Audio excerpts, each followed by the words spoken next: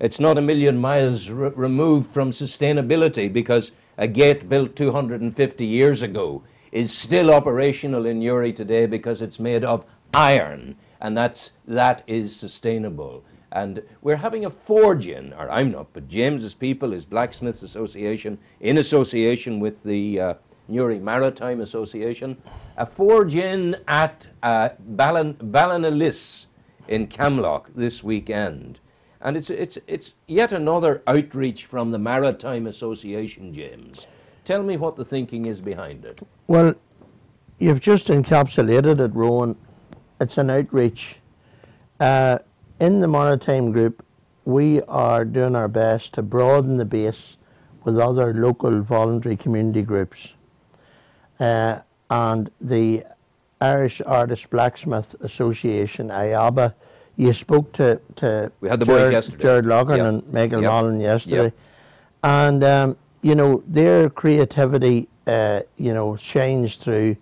And the blacksmiths were such an important part of the story of the port and the canal.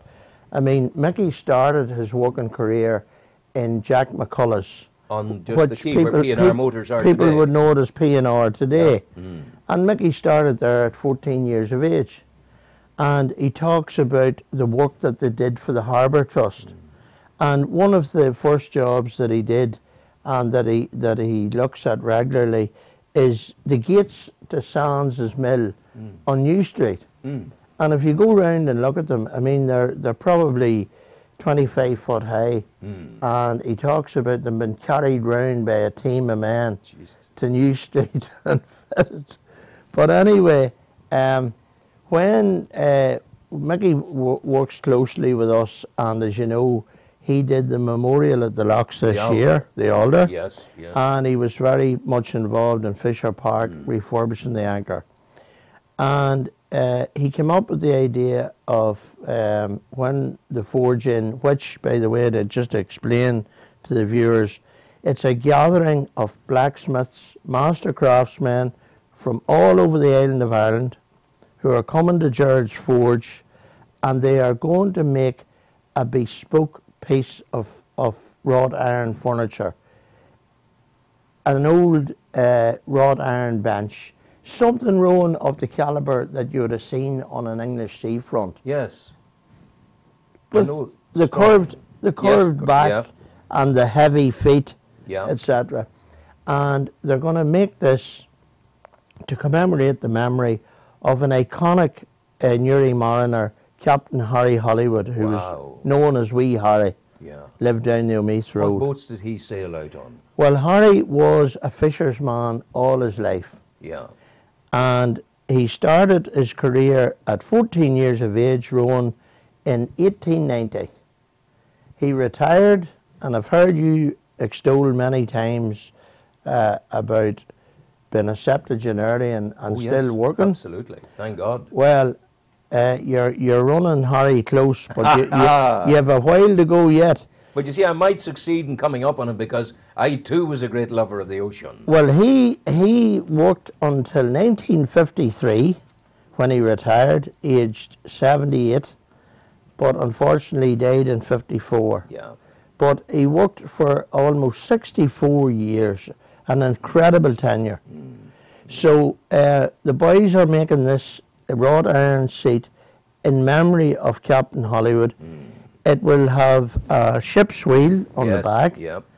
Uh, we had hoped to put his name on it, but due to council policy uh, about naming uh, artifacts, etc., we can't do that. Well, that's madness. So let's. They, should immediately change the policy. Well, we'll, we'll see how we get on. You but, have to be diplomatic. I don't. But- change the policy. But what we what we hope to do, Rowan, is uh, have it incorporated into this phase of the Yeah. public realm scheme. Yeah. Excellent. That And, uh, so so so so very very good indeed. Come come Sunday evening. Uh, this is a two-day event. Yeah. Uh, the boys are starting tomorrow morning. We have the mayor coming at 12 o'clock, uh, and then they'll work to about half six.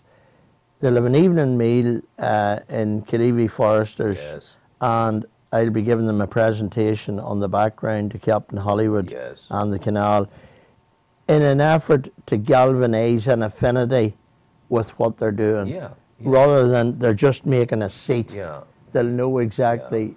They're the sort of men, you're right, they're the sort of men who put heart and soul into the work. Yes. Because when you're when you've a fire lit in a forge and you're thrusting the metal in and bringing it to white hot temperatures and beating the stuff, beating it, and then and then tempering it in the water, these are men of heart and soul, and it'll be so important for them to be aware of that provenance of, of Harry Hollywood. That's right.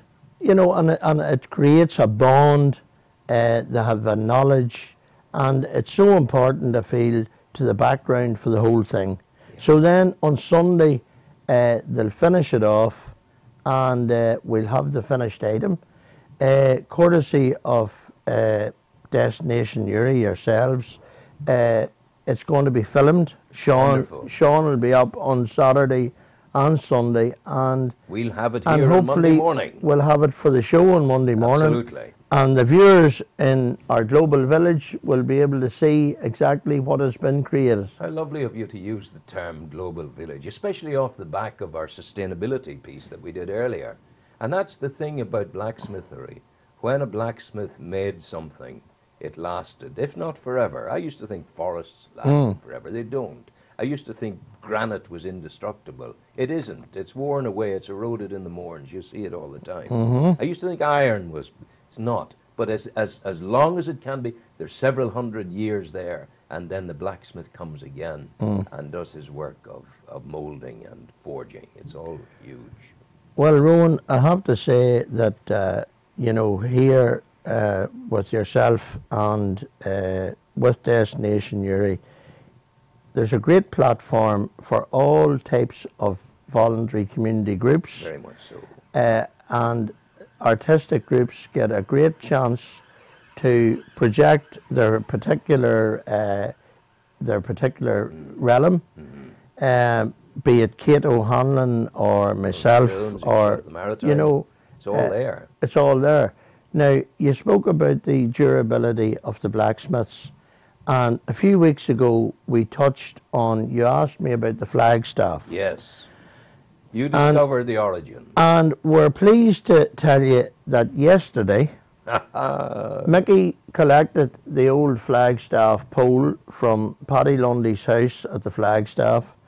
We left it uh, to be shot blasted and uh, painted, but there's a piece missing off it. Uh, there's about 10 feet that Mickey's going to add on, and then we'll recite it. And we'll, and we'll have a ceremony.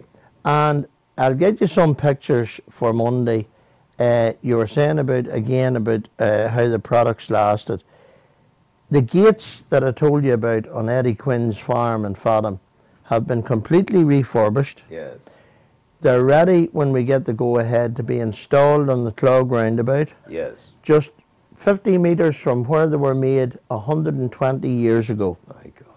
And the man's name, Tommy Connolly, T. Connolly, is branded into the gates.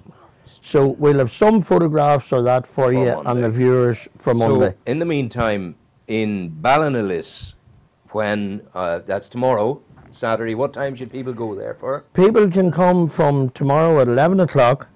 Uh, there'll be direction signs from the Clog roundabout, Okay. and it's literally a five, six minute car journey from the Clog roundabout. Okay, be there, enjoy it, and we can now show the people a little bit, finally show people a little bit of the work of the blacksmith uh, in, in the film clip we've now got. In, in the James, thank you for coming in. God bless you. Thank Go you. well. Thank Take you. Ron. Thank you.